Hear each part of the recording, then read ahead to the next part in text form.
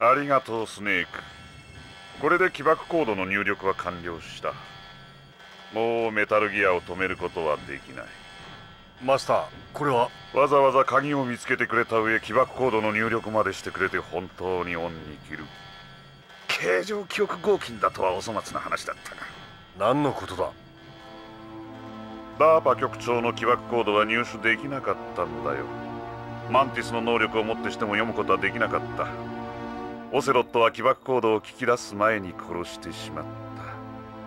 つまり俺たちは核を撃つことはできなかった。威嚇発射さえもなまさに八方塞がりだった。核が撃てなければ我々の要求は叶えられない。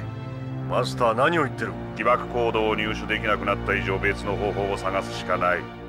そこでスネーク貴様にかけてみることにした。何？デコイオクトパスをダーパ局長に変装させたのもその一つだ。貴様から情報を得ようとしたのだが。フォックス大とはな。全て最初から仕組まれていたというのか。俺に起爆コードを解除させるために。ん？もしやここまで来られたのは自分一人の才能だと思っているのか。マスターあんたは。あんたはスパイか。とにかくこれで核発射準備は整った新型核を打ち込んでみせればホワイトハウスの連中もフォックス大の結成を渡さざるを得まい。奴らの切り札も無効になる。切り札？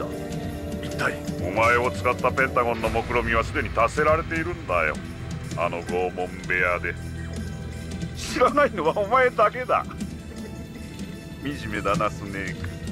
貴様誰だ？全て教えてやるもしも俺の元までたどり着けたらな。どこにいる？すぐ近くさ。スネーク！そいつはマスターミラーではない。キャンベル。今頃気づいても遅い。マスターミラーの遺体が彼の自宅で発見された。死後3日経ってる。マスターとの無線がオフにされていたのでわからなかった。メイリンによると発信源はその基地内だ。ちょお前は？お前が話していたのは。俺だ。兄弟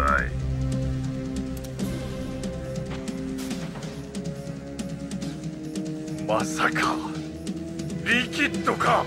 貴様の役割は済んだ。あの世へ行け。